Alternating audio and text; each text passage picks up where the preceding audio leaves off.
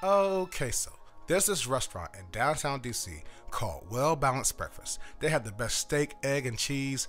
Anything you like is perfect. So me and Bean decided to link up with Lonnie, Chaos, and Gary, and we was gonna take a road trip to downtown DC.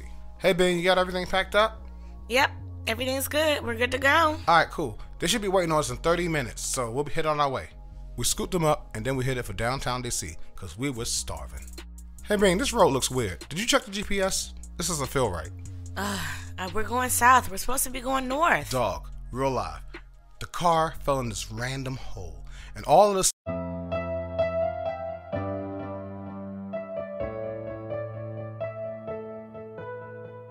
Sometimes you gotta find yourself in the land of lost, man. That's exactly, that's exactly, that's exactly.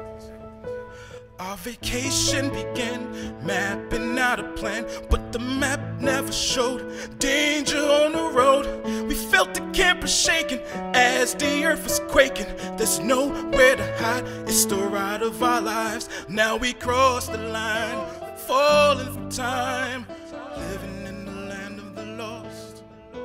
What a world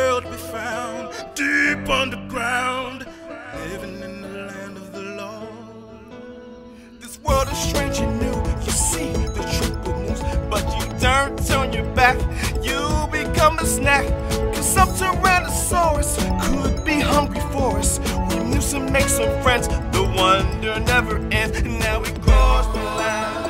Falling